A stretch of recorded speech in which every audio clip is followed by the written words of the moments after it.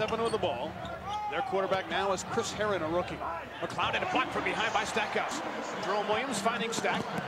Collects. No. Rebound. Back to Herren. So four on one break. McTice. Yep.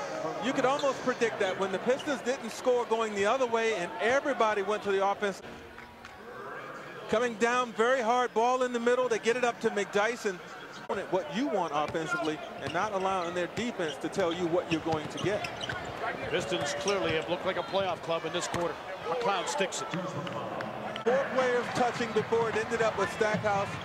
No defensive rotation by Denver. Stackhouse a wide open look. Chris Herren all the way to the hole.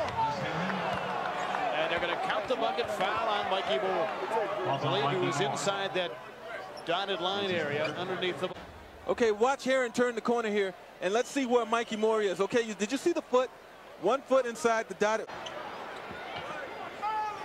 Detroit by 20 back on D here. Long bomb, McLeod. Got it. To lose Lindsey Hunter. Posey will fire. The rookie missed it.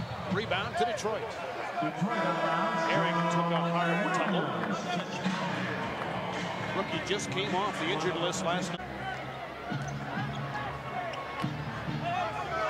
Toss inside to McDyess. He can throw it down with authority. As a shooter, as a scorer, you just get into a zone, you get into a rhythm, a confidence spread. John Crotty inside, selfish, unselfishly rather for Paul, who thought he was fouled. Lloyd was fouled. Posey throws it down. James Posey has it up. Michael Curry steps into a miss. Pistons still stuck on 128. Well, what Denver's doing right now is making it respectable, or at least trying to. by Jones. That third quarter. They just show all the great plays and how the Pistons are capable of playing defense and show it to them at practice tomorrow. Right. That's where they want.